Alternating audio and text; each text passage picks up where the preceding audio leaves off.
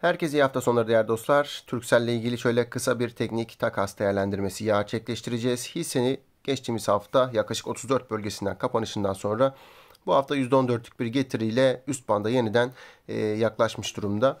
Önemli bir seviye olan 41.80 bölgesini bu hafta yeniden test etmesini bekliyor olacağız. Geçtiğimiz haftaki piyasa düşüşünde oldukça yüksek satışlar, işlemler gerçekleşti.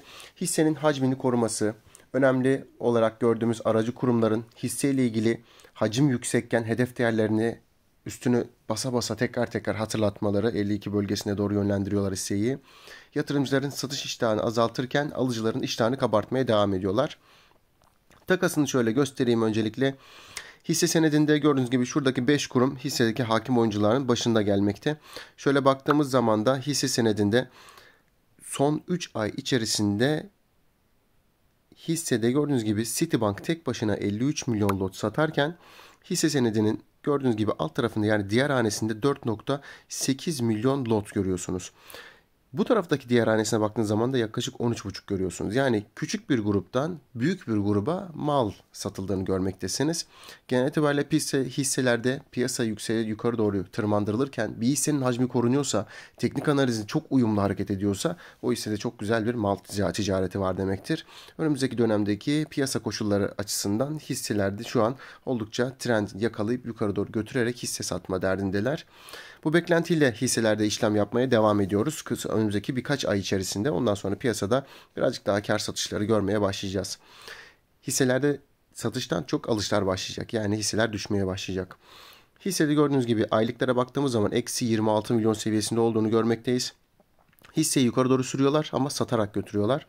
Hisse senedinde Citibank 69 milyon lot aylıkta eksi bakiyede ve son 3 ayda da 53 milyon az önce göstermiştim. Yani hisse senedinde son 1 aydaki satışlar birazcık daha fazlalaştı. Emeklilik fonu 26 milyonla, yatırım fonu da 14 milyonla, 14.8 milyonla hisse senedinde son ayda en büyük bu satışların karşılandığı kurumlar olarak öne çıkmakta. Ama genel itibariyle hisse senedinde baktığınız zaman son ay içerisinde birazcık daha kıyım olduğunu görüyorsunuz.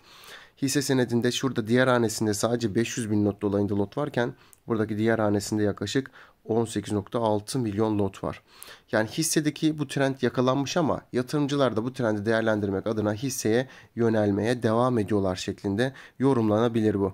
Yani hisse senedini kısaca trend varlığı içerisinde yükselişin sürmeye devam edecek. Yani şöyle önümüzdeki dönemde piyasa düşmeye başladığı zaman en yukarıdan alanlar son alıcılar olmuş olacak. Hisse senedinde genel itibariyle verilen formasyon hedefine yükselmesi beklenir. Yani 50 bölgesine kadar. Bizim de e, şu anki beklentimiz 36 kanal desteği üzerinde hissenin şuradaki yeşil bandı tekrar test etmesi bu hafta. 41.80 bölgesini geçtikten sonra da 47.50 formasyon hedefine hissenin hem satarak hem de yukarı doğru sürerek hissenin yükselişini desteklemesini bekliyor olacağız.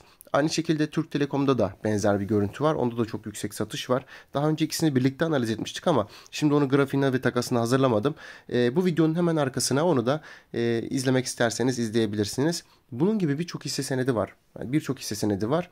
Ama bu kısa vadedeki bu yükselişlerin pek fazla içinin dolu olduğunu söylemek mümkün değil. Az önceki takasta gördüğünüz gibi.